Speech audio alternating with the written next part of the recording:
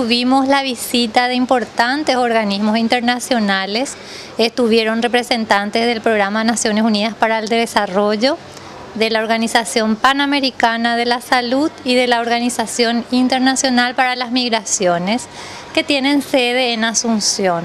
El trabajo de ellos estaba relacionado a visitar la situación de Alberdi, en este caso particular, si bien ya hicieron visitas a otras regiones del país, pero por la relación existente que hay de Alberdi con Formosa y habiendo un albergue para los pobladores de Alberdi en Formosa, ellos decidieron también venir a conocer este refugio.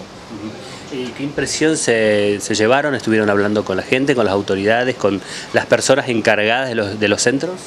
Y sí, ellos se relacionaron tanto como las personas que están a cargo del albergue, pero como ellos mismos le dijeron, si quieren conocer la realidad, ustedes tienen que hablar con los que están habitando este albergue.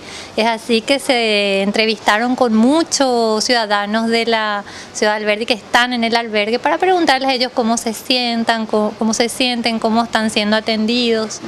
Y bueno, llevaron una impresión de Formosa eh, muy buena porque se pudieron dar cuenta de que se trabaja ah, de manera integral, o sea, se le ofrece una asistencia completa a los albergados.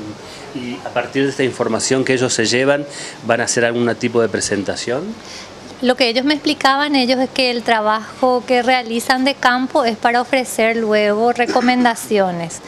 Eh, que parecen muy importantes porque digamos son de personas que que pueden realizar eh, un informe con una visión, digamos, imparcial, porque son de organismos internacionales.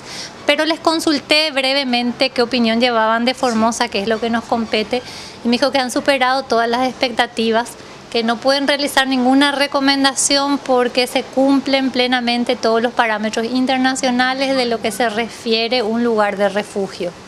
Es decir, que al tomar contacto con los propios evacuados es que eh, digamos, tomaron esta información. Es la conclusión a la que ellos han llegado y me dijeron que realmente están sorprendidos, gratamente sorprendidos, porque la impresión que llevan es realmente positiva.